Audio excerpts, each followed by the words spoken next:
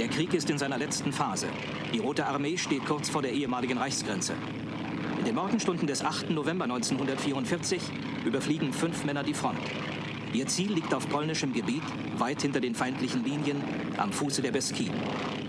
Sie haben einen Auftrag auszuführen, den nur zwei von ihnen kennen. Georg, ein deutscher Kommunist, seit 1939 in der Sowjetunion lebend, und Boris, Oberleutnant der sowjetischen Aufklärung, Student für Maschinenbau aus dem Kaukasus.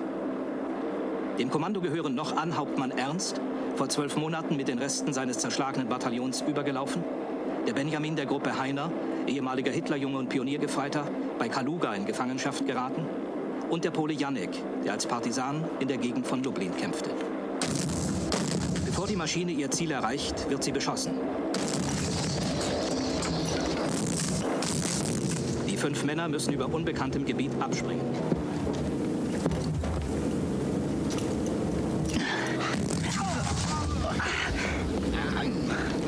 Georg wird dabei schwer verwundet und verliert die Verbindung zu seinen Freunden. So scheint der Geheimauftrag schon vor seinem Beginn gescheitert.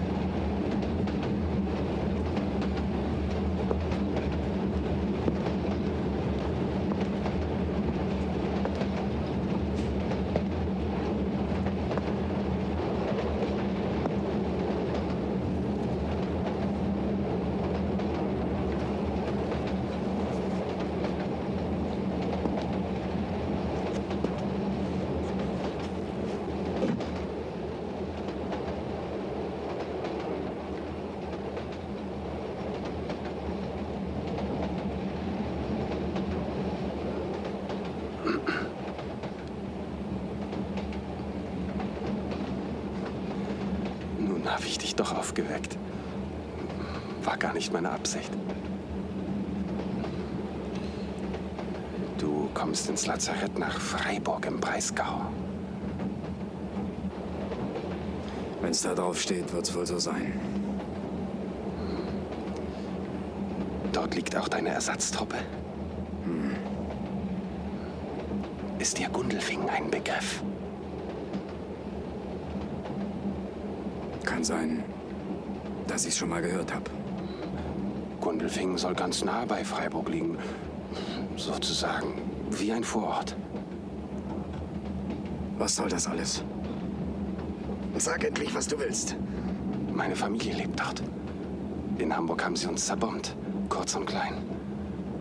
Meine Schwiegermutter und mein jüngstes Tod liegen unterm Schutt. Ich kriegte drei Tage Sonderurlaub. Als ich nach Hamburg kam, wieder Bombenangriff.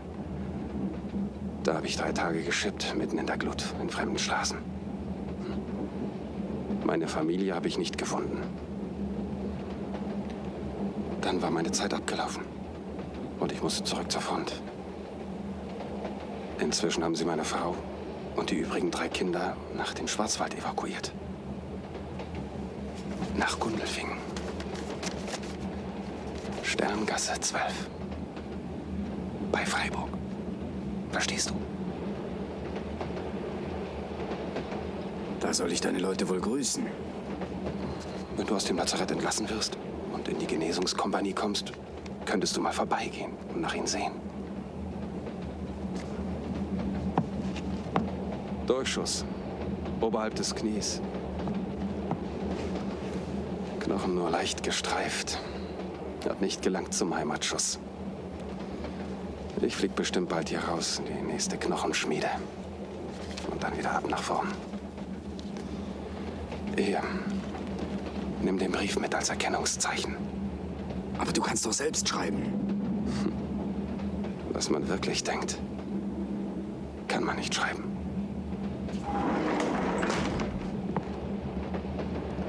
Fertig machen zum Ausladen und zur Verlegung. Unteroffizier Mantei, Herbert, Obergefreiter Tischbein, Friedrich, Feldwebel Montag, Hans, Obergefreiter Ohlich, Walter. Das bin ich, Obergefreiter Ohlich Walter. Wie ich gesagt habe, Schnellverfahren. Sag ihnen, dass wir uns bald wiedersehen. So oder so. Los, Olich, pack deine drei Zwetschgen zusammen. In zehn Minuten ziehst du um. Ja, ja, ich mach schon. Das geht schnell. Nicht jeder so ein Schwein wie du, Kumpel. Mach's gut.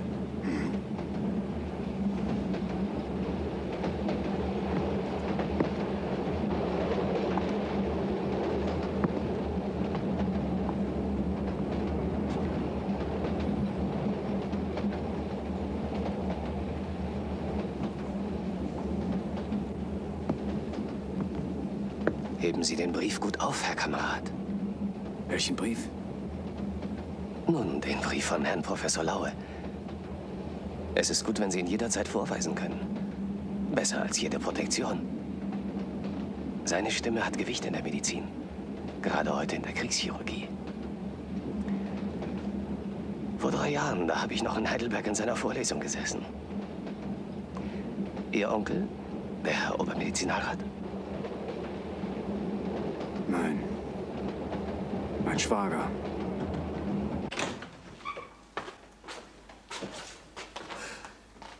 Verehrter Herr Professor, Sie glauben gar nicht, wie sehr ich mich freue. Sie sind gesund. Wenn ich meiner eigenen Diagnose noch halbwegs trauen kann. Na, abgesehen von einem Mordsappetit auf ein gut durchwachsenes Wiener Schnitzel. Ist 13 Arbeit für uns alle, bitte, ja? Darf ich bekannt machen? Standartenführer Haug, Wir waren sehr in Sorge um Sie, Professor. Hauptsturmführer Thiel. Wir haben alles Menschenmögliche getan, um Ihre Entführer aufzustöbern, Herr Oberfeldarzt. Aber Aber wie ich am eigenen Leibe verspürt habe, leider ohne Erfolg. so, danke. Sagen Sie, Professor, kennen wir uns nicht? Sind wir uns nicht mal kurz begegnet? Ich wüsste nicht, Standartenführer. Ich glaube kaum. Na, warten Sie mal. Vielleicht im Sanitätspark der Heeresgruppe. Ich wüsste nicht. Na, Badowitz, Arzneimittelverwaltung. Ich hatte da mal flüchtig zu tun. Nee. Nie da gewesen. Für den Arzneinachschub sorgen meine Heeresapotheker.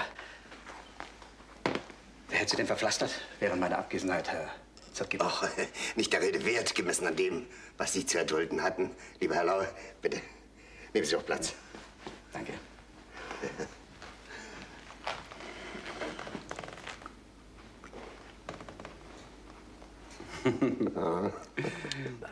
Wir sind gespannt, Herr Professor. Ich glaube, meine Rettung habe ich nur dem Umstand zu verdanken, dass ich gut gearbeitet habe. Dass ich geholfen habe. Also, Sie wurden im Auftrag des Major Zirgiebel abgeholt. Das stimmt. Der Name des Majors diente aber nur als Köder. Nachdem ich bereitwillig mitgegangen war, hat man mir die Augen verbunden, mich stundenlang im Auto herumgefahren und schließlich durch irgendwelche Wälder an einem Strick gezerrt.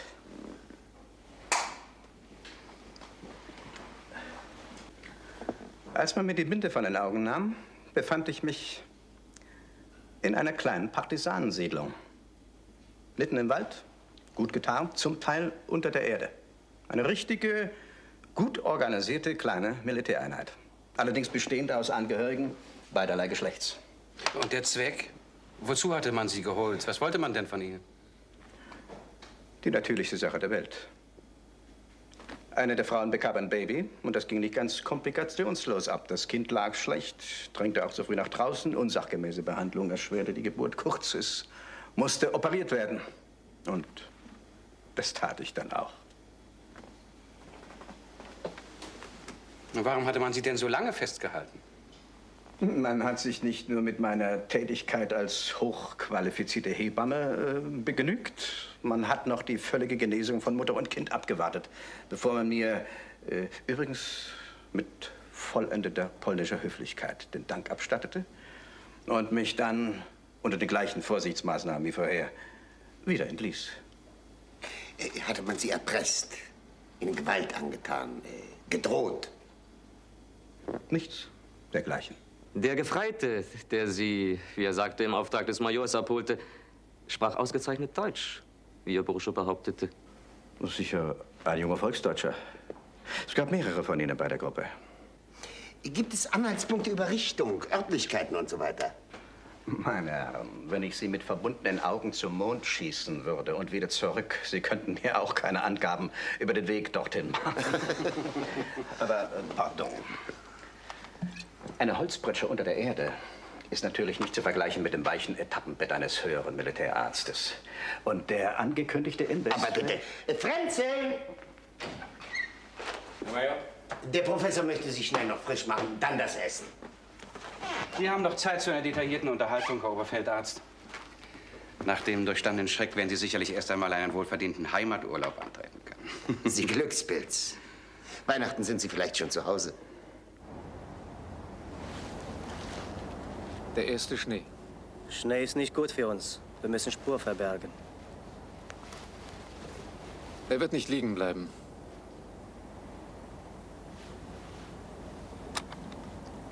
Noch vier Minuten. Wann kommt Heiner? Er müsste heute Nacht oder gegen Morgen kommen. Dass er sich bis jetzt noch nicht gemeldet hat, ist ein gutes Zeichen.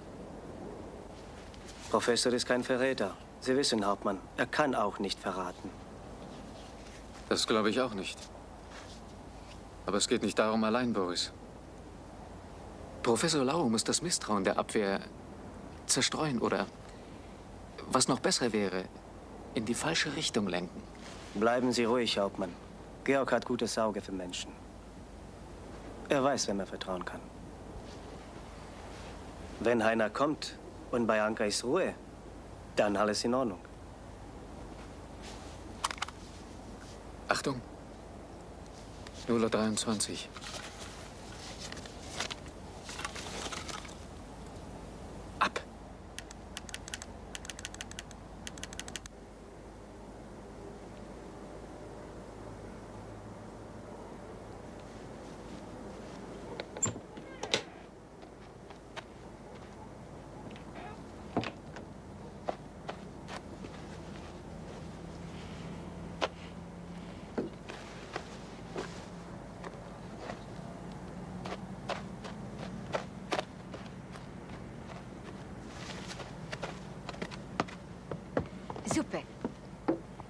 Komm, Heiner. Drei Tage und Nächte, weit und breit kein Mensch. Alles in Ordnung mit Laue. Iss. Wie lange wirst du gehen? Sechs Stunden. Ich habe deinen Mantel getrocknet und den Beutel Essen gepackt für deine Kameraden. Du bist gut. Danke, Hanka. Du musst dort sein, bevor die Sonne aufgeht. Nicht so schlimm. Ich bin unverdächtig. Ich habe gute Papiere und Uniform.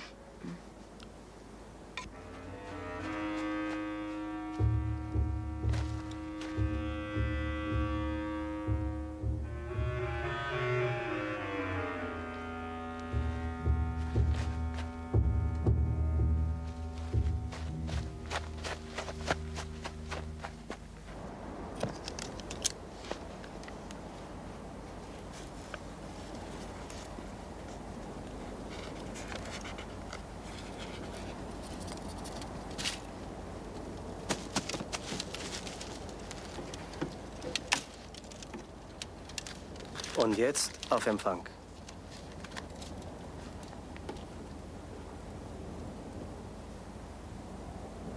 Wirst du Georg sehen? Sobald er gesund ist. Aber wenn Gefahr ist, Heiner, komm zu Insel. Insel in Sumpf. Deine Sumpfinsel war unsere Rettung, Hanka.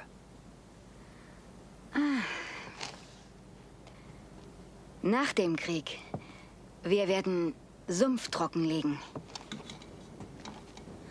Und Weizen aus Erde holen.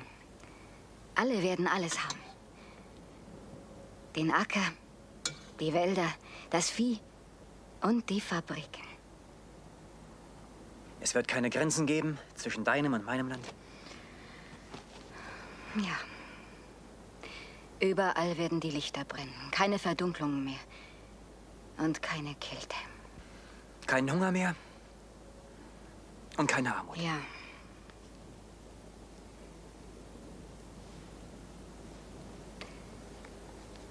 Keine Soldaten mehr nötig. Kein Geld. Alle haben alles. Nur noch spazieren gehen. Essen. Und lieben.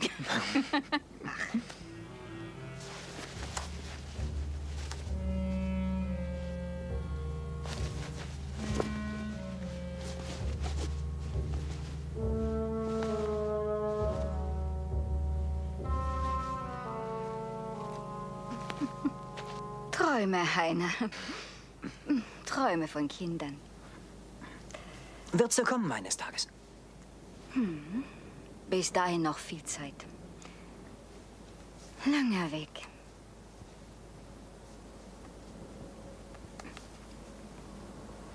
Und noch viel, viel Blut.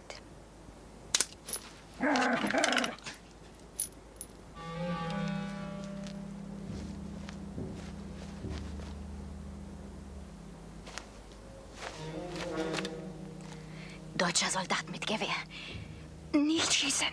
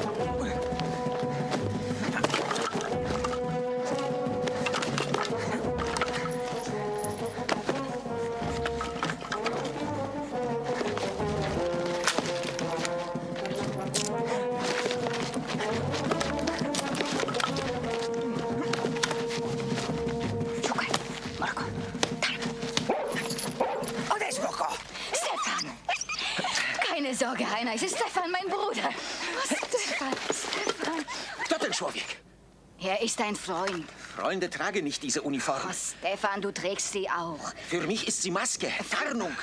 Für ihn auch. Er ist ein Freund und auf unserer Seite. Wo kommst du her? Bist du Freund? So antworte. Ich kämpfe, wofür du kämpfst. Ich hasse die, die du hast. Worte. Du bist Deutscher. Gib Ruhe, Stefan. Ich kenne ihn. Es ist richtig, was er sagt. Und es genügt auch. Er fragt nicht dich, du fragst nicht ihn.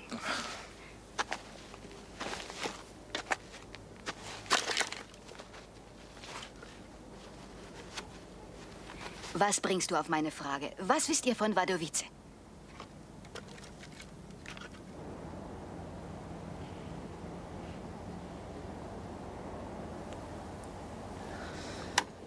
Nichts. Wir müssen uns melden.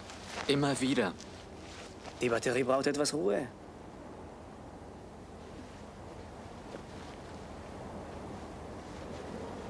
Was wird, wenn wir keine Verbindung bekommen? Boris, was wird, wenn keine Verbindung? Man erwartet, dass wir den Auftrag erfüllen, auch ohne Verbindung mit den unsrigen.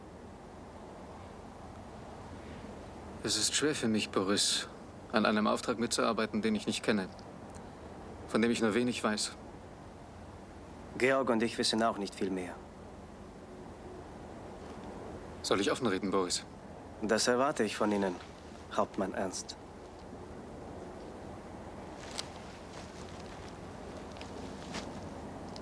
Die Chance, Georg, Janik und eventuell sogar diesen sagenhaften Wonsinski wiederzusehen, steht 1 zu 100.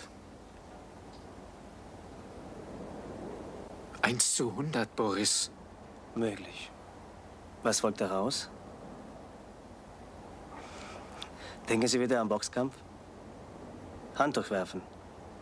Ich habe mich freiwillig gemeldet und wurde ausgewählt für diesen Auftrag. Ich bin stolz darauf und stehe zu meinem Wort. Nur, Yannick ist weg. Georg ist weg. Richtig. Und es kann noch schlimmer kommen. Es muss nicht sein. Wir wollen den Teufel nicht an die Wand malen. Doch, Hauptmann. Wir wollen malen den Teufel. Sie haben recht. Es ist Zeit, dass Sie wissen.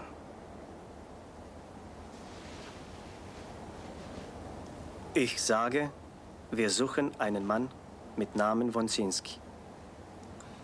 Er musste an einem militärischen Sonderobjekt mitarbeiten. Alle wurden anschließend von der SS getötet. Er als einziger entkam und überlebte. So viel weiß ich. Und wir wissen nicht, wo sich dieses Objekt befindet. Aber Sie müssen es finden, egal wo es ist. Ob in Erde, unter Wasser oder in der Luft. Sie müssen das Objekt finden und Sie werden dort eindringen. Gibt es Details, Genosse Balkon? Nicht eine, Genosse Georg. Sie müssen alles selbst erkunden. Überall, wo die Faschisten zurückgeschlagen wurden, haben sie Ungeziefer in unserer Pelz hinterlassen, sogenannte Residienten. Das sind Leiter von kleinen und mittleren Agententrupps, die genau vorbezeichnete Aufgaben haben und bestens mit Lebensmittelvorräten, Waffen und Funkgeräten ausgerüstet sind. Zum Teil sie sind mit fiktiven Dokumenten als Kommandeure der Roten Armee getarnt und in eine dichte Netz über vormals okkupierten Gebieten verstreut. Was sind das für Menschen? Verräter und Kollaborateure? Die Deutschen setzen für diesen Zwecke nicht nur Agenten ein, die speziell in Spionageschulen ausgebildet wurden, sondern auch Spitzel von Polizei und Sicherheitsdienst, die den Faschisten in besetzten Gebieten bei Neuordnung geholfen hatten. Welche Aufgaben haben diese Agententrupps? Alle militärische Informationen sammeln und durchgeben. Standorte und Bezeichnungen von militärischen Einheiten, Lage der Stäbe, Standorte der Batterien, Anzahl der Flugplätze, der Panzerflak und Panzerabwehrgeschütze. Besondere Aufmerksamkeit richten Sie auf Geschosswerfer. Sie haben Auftrag, Sprengladungen anbringen, Brücken und Eisenbahnanlagen in Luft jagen, Verbindungen zerstören und Offiziere erschießen. Viele solchen Trupps sind von uns schon aufgegriffen und unschädlich gemacht worden, die solche und ähnliche Aufgaben hatten. Und was befindet sich in dem Objekt, das wir finden sollen? Vollständige Registratur von Agententrupps. Für Bereiche Ukraine, Mittelpolen und Südpolen und Ungarn. Dieses Archiv muss doch einen beträchtlichen Umfang haben. Über jeden Agenten ein eigenes Dossier. Sie können sich denken, Hauptmann Ernst. Was kann man damit machen? Sehr viel Unglück verhindern. Tausende von Menschenleben retten. Das ist noch zu wenig, Hauptmann. Und wie wird dieses Objekt beschaffen sein? Ich meine, in welche Richtung sollen wir suchen? Kann ein Bunker sein. Tief in der Erde. Kann ein verlassenes Schloss sein. Vielleicht auch ein gepanzertes Büro in Tarnung. Ich weiß nicht. Niemand weiß. Wir wissen nicht, wo es ist, wie es aussieht, wer es verwaltet, wie es bewacht wird. Aber wir wissen, dass es jetzt noch in dem Umkreis von Krakau, Welitschka oder Wadowitz ist. Wenn diese Registratur verlagert wird, vielleicht sogar ans Reich, ist sie vorläufig unerreichbar und verloren für uns. Das bedeutet, dass der Faktor Zeit eine wichtige Größe in unserer Berechnung ist. Antwort für uns. Ich bin auf fremde Welle. Schreiben Sie. Schnell. Wir haben noch zwei Stunden Fußmarsch vor uns. Dwie godziny marszu jeszcze jest przed nami. Bleiben Sie eng neben und hintereinander. Iść blisko siebie jeden za drugim. Wer spricht oder den Weg verlässt, Kto rozmawia lub opuszcza drogę, wird bestraft. będzie ukarany. Wer versucht zu fliehen, Kto będzie uciekał, wird erschossen. Będzie rozstrzelany. Das ganze Marsch. Całość! Marsz!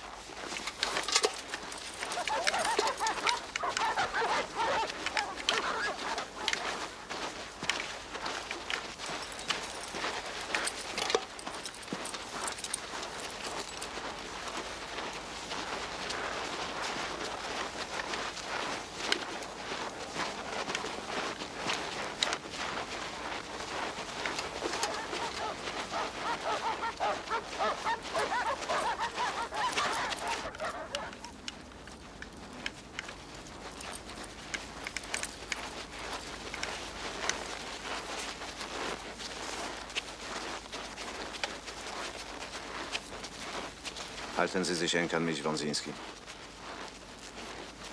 Wo sind wir? In der Nacht sind wir durch einen Stadtbahnhof gefahren. Jemand wird den Namen Freiburg in Breisgau gelesen haben. Dann ist das Schwarzwald hier. Ja, Schwarzwald. Schwarzer Wald. Da, wo er am finstersten ist. Sie können sich nicht irren, Hauptmann. Auf keinen Fall. Der Code war kinderleicht zu entziffern. Etwas für Anfänger. Der Falter Heiner meldet sich müde und hungrig zurück. Alles in Ordnung.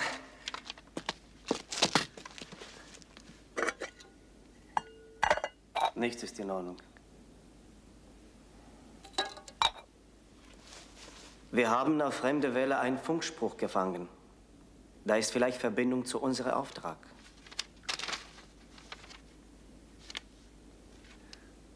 Major Zirgiebel von der Abwehrstelle Bochnia ist Schlüssel zur Aktion in Wilitschka. Unteroffizier! Sie bekommen Besuch. Bitte.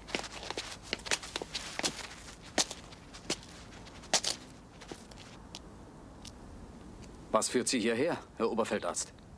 Ich bin auf dem Weg zu meiner Familie nach Heidelberg. Weihnachtsurlaub. Sie sind ein naher Verwandter von mir. Das Lazarett liegt auf meiner Route. Das lege also näher. Und was führt Sie wirklich her? Die Sorge. Die Sorge um Sie und Ihre Freunde. Wie darf ich das verstehen? Irgendwie ist mein Schicksal mit dem Ihrigen verknüpft. Ich kann mich nicht mehr lösen davon. Vergessen Sie, was war. Ich kann mich nur ganz engagieren oder gar nicht. Ich kann Sie nur warnen, nicht zurückhalten. Es wäre auch zwecklos. Also, was ist los, Professor? Man hat sich mit mir unterhalten, mehrere Male. Und mehr als das. Verhört? Man kann es so nennen, bei etwas freierer Auslegung. Sie konnten das Misstrauen nicht zerstreuen? Was mich betrifft, doch. Aber ich hörte vieles heraus. Man sucht emsig nach Ihnen und Ihren Freunden. Was weiß man? Man kalkuliert mehr, als man weiß. Man ist dabei, ein engmaschiges Netz zu knüpfen, in dem sich Ihre Freunde fangen sollen. Sie wissen Details. Es schadet nichts, wenn der Hase seinen Jäger kennt. Oder trifft das Bild umgekehrt besser zu, wenn der Jäger das Wild kennt, das er jagt? Neben der Abwehrstelle des Major Zirkibel, von der Sie ja wissen, sind es zwei Herren der SS, vom Reichssicherheitshauptamt dem Stab der Heeresgruppe A zugeteilt. Standartenführer Haug und Hauptsturmführer Thiel. Übrigens ist zweimal versteckt die Frage aufgetaucht, ob ich schon mal im Sanitätspark der Heeresgruppe A gewesen wäre. In der Arzneimittelabteilung. Ich habe Sie hergebeten. Bestellt. Noch nicht, Herr Major Zirgen. Also rundheraus und ohne Umschweife, Standartenführer. Nun gut. In Ihrer engsten Umgebung gibt es eine undichte Stelle. Moment, Herr Major.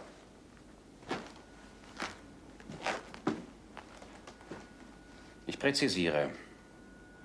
Nicht nur eine undichte, sondern eine feindliche Stelle.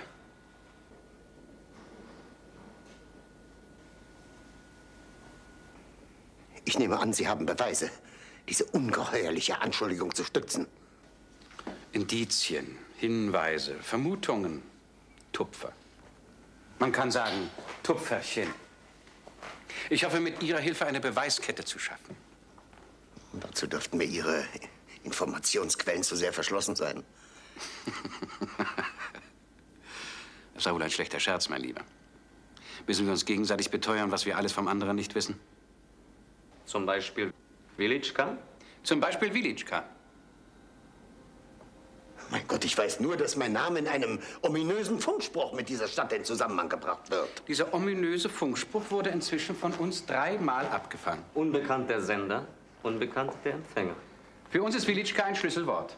So wie Sie laut Funkspruch der Schlüssel zur Aktion in Wilitschka sind. Sein soll. Meinetwegen sein soll. Aber warum? Wieso sollten Sie der Schlüssel sein? Zu einer Aktion, die der höchsten Geheimhaltungsstufe unterliegt. Zu der auch Sie, Ihre Dienststellung mit in Rechnung gestellt, keinen Zugriff haben dürften.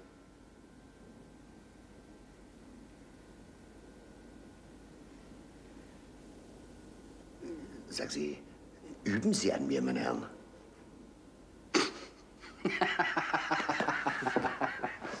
Mit diesem kleinen Spaß dürften wir ja wohl auf kollegialer Basis zu sachlichem Austausch kommen. Einverstanden. Legen wir einmal dar. Vor einiger Zeit haben Sie, lieber Zirgibel, durch einige kleine kollegiale Kunst oder Übergriffe. Das waren Zufallsprodukte am Rande anderer Recherchen. Na, wie auch immer. Jedenfalls ausgemacht, dass der Stab einer SS-Sondereinheit nach Wilitschka kommt. Aufgabe? Verstärkte Bandenbekämpfung im Raum um Krakau und Sonderbehandlung der Widerstandsgruppen im schlesischen Industriegebiet. Diese Kenntnis haben Sie ja nicht nur allein, Herr Zirgiebel, sondern eine Reihe Ihrer Mitarbeiter. Du kannst recht. Und das sind doch alles jahrelang erprobte und... Ach, geschenkt, mein Herr! Wir haben nach dem 20. Juli eine ganze Reihe von Generalen aufhängen müssen, die sogar jahrzehntelang erprobt waren. Irgendjemand funkt an einen anderen jemand und nach unseren Peilungen im engsten Umkreis von Krakau, dass Sie oder Ihre Abteilung genaue Kenntnis über die Installierung des Sonderstabes haben. Soweit logisch. Und leider auch richtig. Wissen und Kenntnisse machen immer gefährlich, meine Herren. Sollten Sie diese Erfahrung noch nicht gemacht haben, das steht Ihnen ja noch bevor. Es scheint klar, dass Sender und Empfänger der Funknachricht auf der Gegenseite zu suchen sind. Außer Frage. Funker oder Empfänger sind entweder Dilettanten oder stehen unter Zeitdruck, was die relativ simple Verschlüsselung des Spruchs verrät. Kein Einwand? Kommt Ihnen da kein Einfall, Herr Kollege?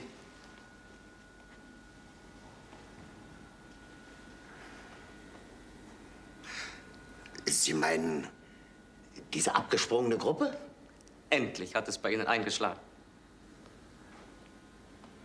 Sie hat Verbindung und Informationsaustausch mit der undichten Stelle aus Ihrer nächsten Umgebung.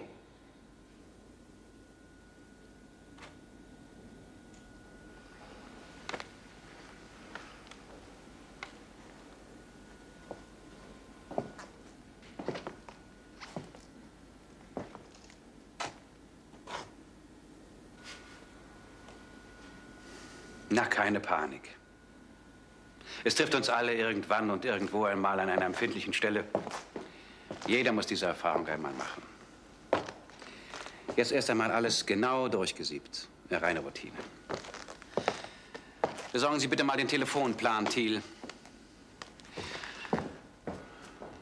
All das bedeutet, Herr Major, intensivste Kontrolle nach innen und verstärkte Suche nach außen. Und damit wir uns nicht verzetteln oder gar einander ins Gehege kommen, übernehmen Sie mit Ihren Leuten die bedingungslose Jagd nach der abgesprungenen Gruppe, während wir den Feind im Innern zur Strecke bringen.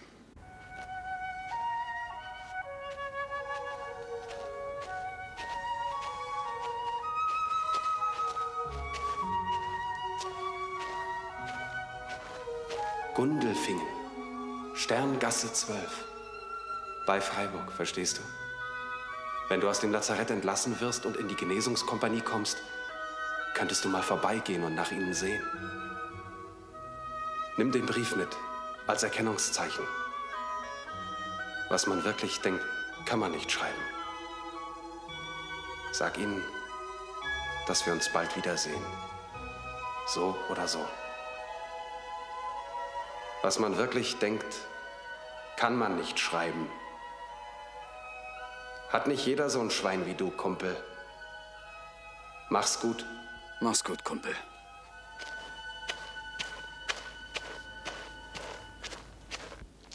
Wir können uns nicht verlassen. Kommt Georg, kommt nicht.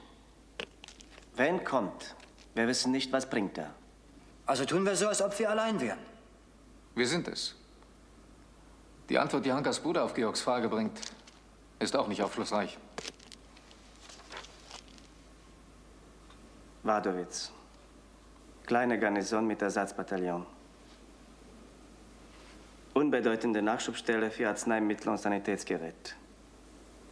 Wenig militärische Bewegung. Keine Objekte von Wichtigkeit. Nichtssagend. Stefan will Wadewitz weiter im Auge behalten. Wenn sie etwas zeigt, wird er sofort Hanka benachrichtigen. Vielleicht sollten wir uns mal selbst in Wadowitz umsehen. Wir haben als neuen Ausgangspunkt diesen rätselhaften Funkspruch. Er muss nicht unbedingt etwas mit uns zu tun haben. Zwei Worte sind im Spruch, die wichtig sind für uns. Zirgibel und Wilitschka. Ja. Ja, aber warum ist er so leicht verschlüsselt? Was für einen leicht kann, für anderen sehr schwer sein. Vielleicht ist dies Nachricht für jemanden, der nicht schwer kann. Wir kennen einen Spruch, der von weit und von nah kommen kann. Von nah wäre logischer. Wir können den nicht anpeilen. Aber in dieser Nachricht ist eine Person und eine Ortsangabe. Also ran an diese Person. Wie? Wir kennen den Standort Zirgibels und das Haus seiner Dienststelle. Dort gibt es winzige Eingänge und eben solche Ausgänge, die wir kontrollieren können. Aus- und Eingänge aus Draht. Damit werden wir Zirgibel anzapfen. Hm, nicht schlecht. Aber wenn du auf Mast sitzt, du kannst abgeschossen werden wie Taube auf Dach. Unsere Oberhaupt- und Stabsblitzdame Fräulein von Teschendorf. Fräulein von Teschendorf ist Chefin über rund 250 Nachrichtenhelferinnen. Darf ich bitten? Und hat uns das Vermittlungsschema mitgebracht. Hier haben Sie das gesamte Telefon-, Fernschreib- und Funknetz der Heeresgruppe A mit Besetzungsstärke und geordnet nach GK-DOS-Ziffern. Darf ich bitten, wer ist? Jedes meiner Mädels ist Geheimnisträgerin und sich dessen voll bewusst. Sie sind hervorragend ausgebildet und haben alle für diese Tätigkeit notwendigen Voraussetzungen. Ihre Herkunft ist verbürgt völkisch, ihre Gesinnung überprüft nationalsozialistisch und ihre Haltung von bedingungsloser Ergebenheit an Führer und Reich. An besonders neuralgischen Vermittlungspunkten. Wie Oberbefehlshaber, Chef des Generalstabs 1a, 1 CAO, direkte Leitungen für Hauptquartier und Berlin sowie verbündetes und besetztes Ausland sitzt Spezialpersonal. Über jeden Verdacht erhaben.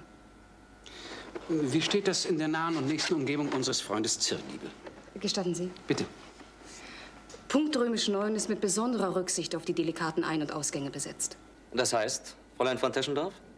Dort ist nicht nur besonders geschultes und vereidigtes, sondern auch eminent kluges Material im Einsatz. Wie viele? 18. In drei Ablösungsschichten mit je einer Gruppenführerin. Phi, 21 also. Eine ganze Menge für so dünne Kontrollmöglichkeiten, wie wir sie haben. Keine drei davon sind mir persönlich bekannt. Das ist mein Prinzip.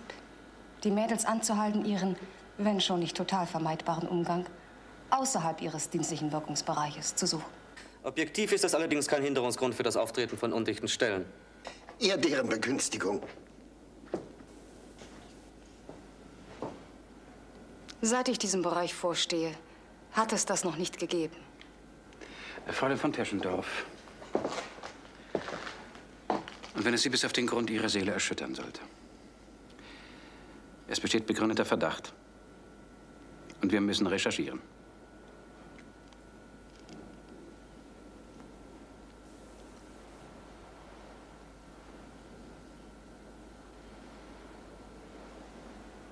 Alle Unterlagen stehen Ihnen sofort in meinem Büro zur Verfügung. Es wird sich nicht vermeiden lassen, dass wir, unter Wahrung strengster Diskretion natürlich, mit diesem oder jenem Ihrer Mädels unauffälligen Kontakt aufnehmen müssen. Kann ich dabei behilflich sein? Welche der 21 Mädels, Fräulein von Teschendorf, vom Vermittlungsknoten Römisch 9, hat sowohl ihr rückhaltloses Vertrauen als auch kameradschaftlichen Kontakt zu allen oder den meisten anderen? Die Truppführerin der Gruppe 3. Unterführerin Wiesner. Gibt es Daten?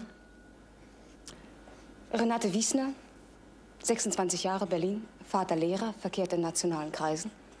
Sie Studium der Volkswirtschaft bis fünftes Semester, dann umgesattelt auf Kunstgeschichte, verlobt mit Offizier der Luftwaffe. Sie müssen ja über ein phänomenales Gedächtnis verfügen, gnädigste. Und diesen Datenkatalog haben Sie von all Ihren 250 Blitzen im Kopf? Dies ist nur zur Hälfte meinem guten Gedächtnis zu verdanken. Und die andere Hälfte? Besteht darin, dass in meinem Bereich untadelige und auch unanfechtbare Ordnung und Sauberkeit herrscht. Jedenfalls danken wir Ihnen für Ihre Bereitschaft, uns in jeder Weise zu unterstützen, Fräulein von Teschendorf.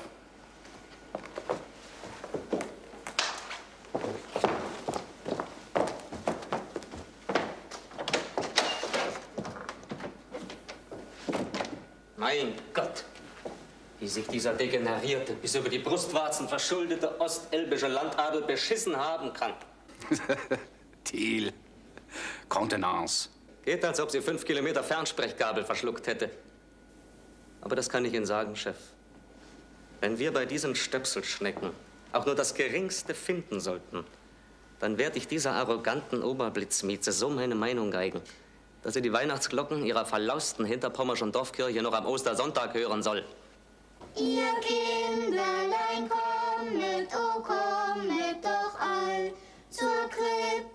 Krippe herkommet in Bethlehems Stall und seht, was in dieser hochheiligen Nacht er Vater im Himmel für Freude uns macht. Unseren Vater hat an die Front gebracht. Kindlein auf Heu und auf Stroh. Maria und Josef betrachten es froh. Die redlichen Hirten knien betend davor. Hoch oben schwebt jubelnd der Engelein Chor. Die Weihnachtskrippe hat uns die Winterhilfe geschenkt. Und die NSV hat heute Nachmittag für die beiden Mädchen zwei Kleidchen und zwei Mäntel gebracht. Und für Bernd eine Hitlerjugenduniform. Winterkluft, schön warm. Es war alles schon gebraucht, aber man muss ja für jedes bisschen dankbar sein. Ein Kleid. Für Ja, mich? Klaus, aber. Dürfen wir alles mal anprobieren, Mutti? Zieht mal an, macht euch hübsch. Schön. Ein hübscher Wintermantel. Der Knopf. Linchen, guck mal. Oh, schön.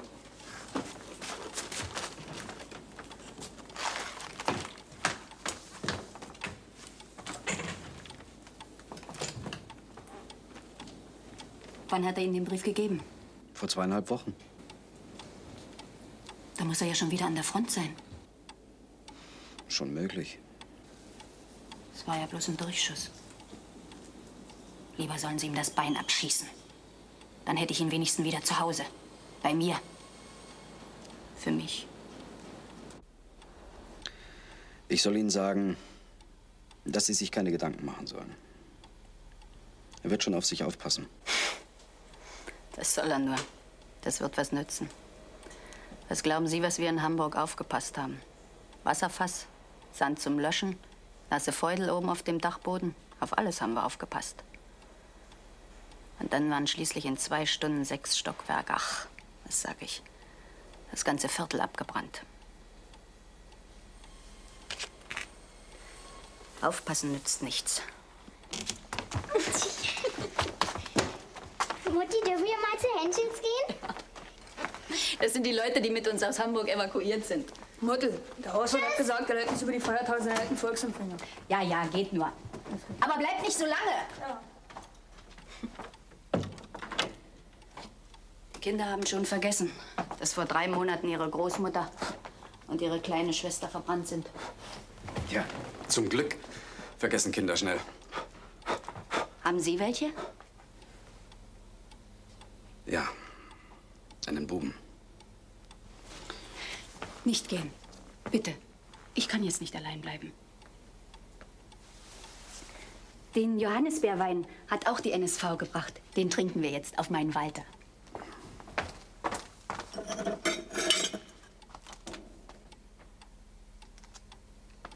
Nicht wahr?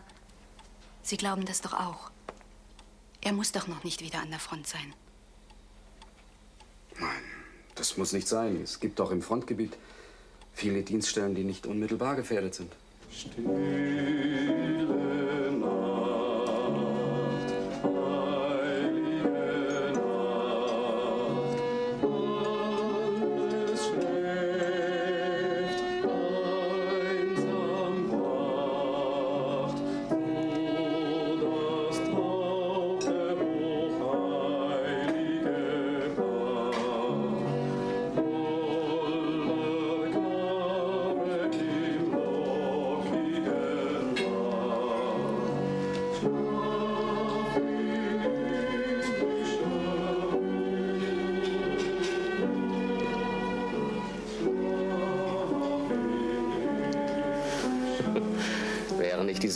Uniformen, ich würde denken, wir hätten tiefsten Frieden.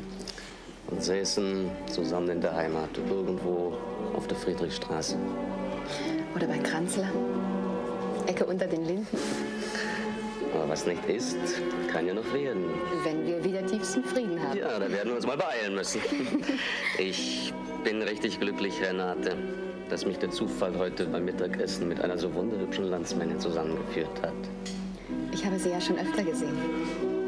Wenn Sie mit dem Standartenführer nach dem Essen im Casino-Café Ihren Mokka getrunken haben. Unnahbar, wie der Chef selbst. Beide in gewichtigen Gedankenaustausch vertieft. Der junge Herr geht ja ran wie Hektor an die Buletten. Wie immer machen wir die Dreckarbeiten. Die Herren der Totenkopf legen sich ins gemachte Bett.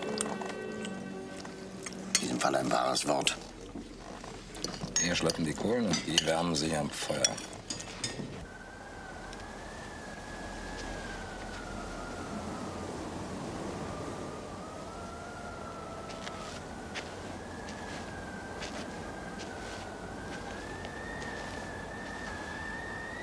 Reicht es, Anne. Genug, komm runter.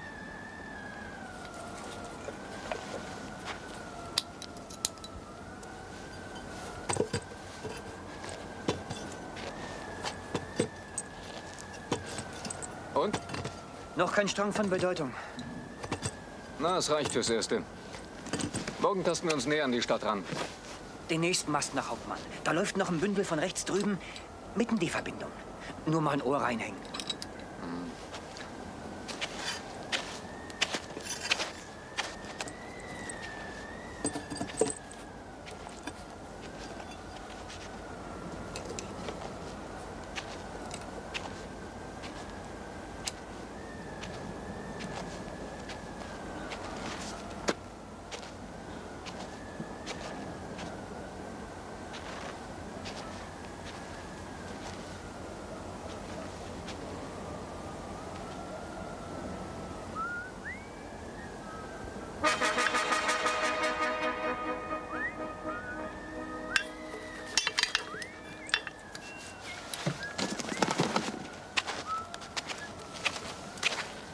Der hat Nerven.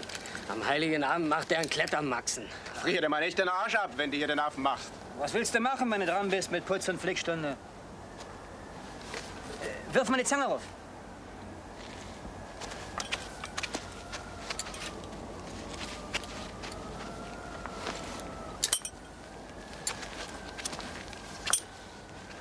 Keine Sau bekäme ich bei der Kälte da hoch. Und dann noch heute, wo die anderen am Ofen hocken und den Weihnachtsschnaps saufen. Hängt doch mal eine Juno dran.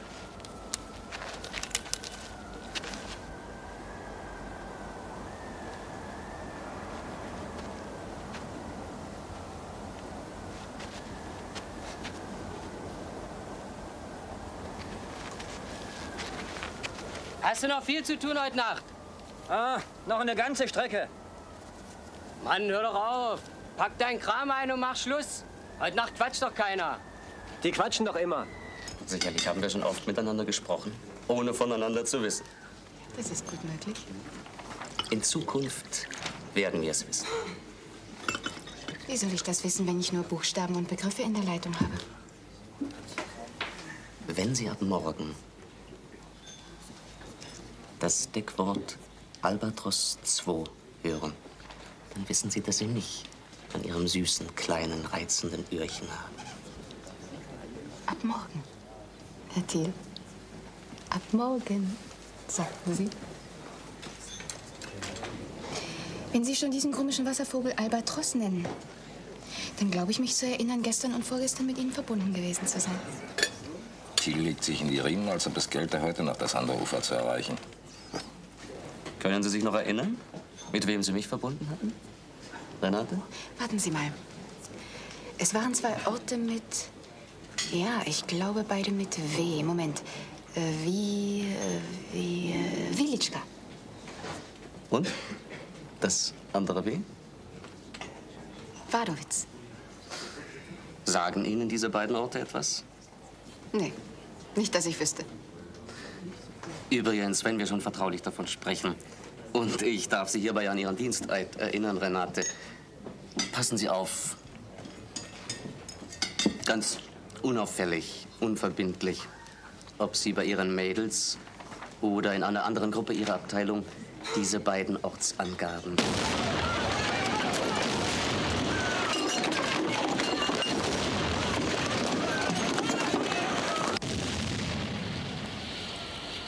Das war am Bahnhof. Nee, das war im Soldatenheim. Los hin. Ein Weihnachtsgruß. Der Partisanen.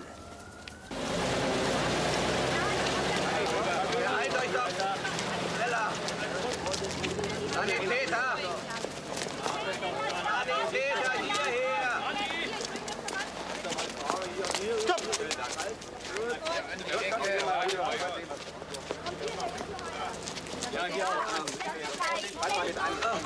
Was ist mit dem Hauptsturmführer? Vorbei.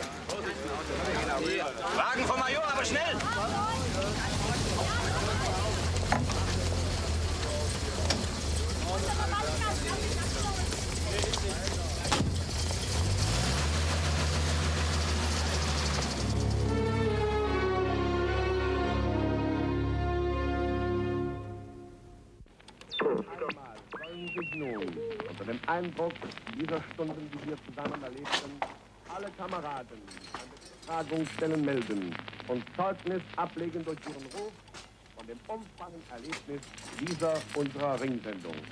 Wir bitten euch, Kameraden, jetzt in das schöne, alte deutsche Weihnachtslied. Bitte nach.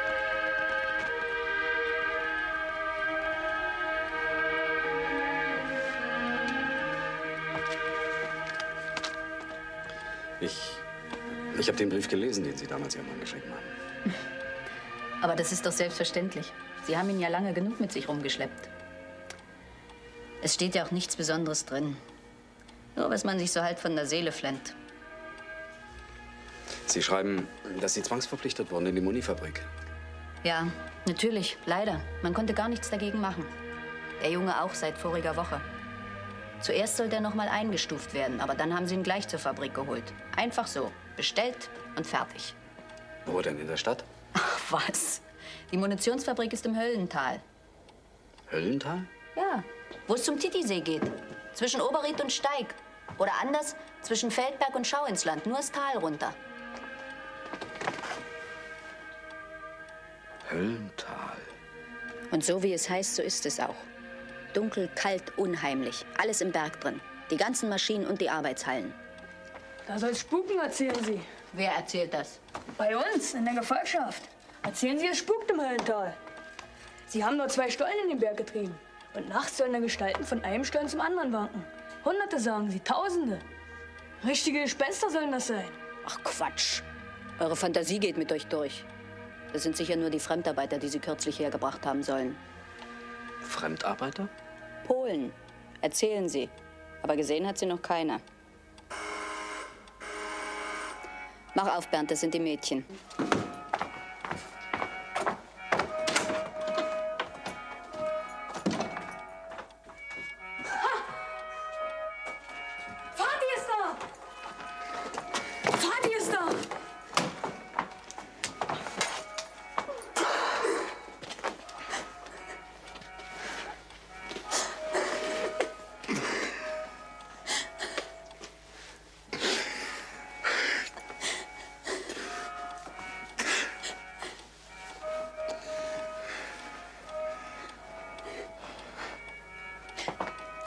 Doch noch geklappt hat. Mit deinem Urlaub. Bernd, lauf rüber zu den Henschels, hol die Mädchen. Wie lange kannst du bleiben, Walter? Oh, Wann musst du wieder zurück? Na sag doch. gar nicht mehr. Was sagst du da? Wieso gar nicht mehr?